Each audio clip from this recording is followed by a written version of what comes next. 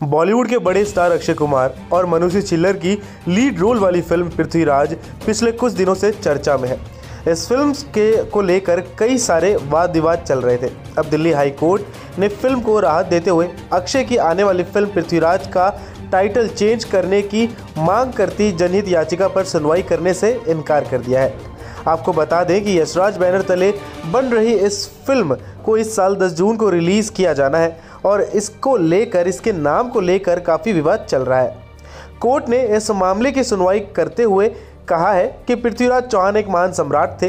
Film का शीर्षक केवल पृथ्वीराज रखने से समाज के एक बड़े वर्ग की भावनाएँ आहत होती हैं। ऐसे में सुझाव के तौर पर कहा गया कि फ़िल्म का टाइटल महान सम्राट पृथ्वीराज चौहान होना चाहिए।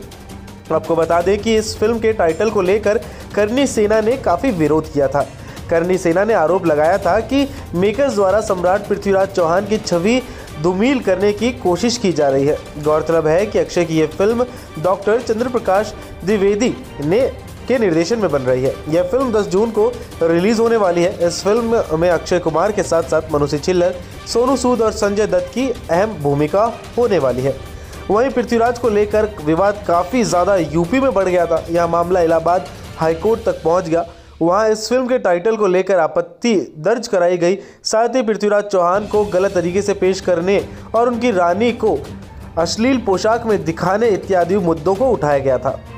कोर्ट ने इस मामले को अगली सुनवाई के लिए इक्कीस फरवरी के सप्ताह में करने का आदेश दिया था। अब देखना होगा कि दिल्ली हाईकोर्ट के बाद क्या इलाहाबाद हाईकोर्ट में भी अक्षय की नई फ़िल्म को राहत मिलेगी।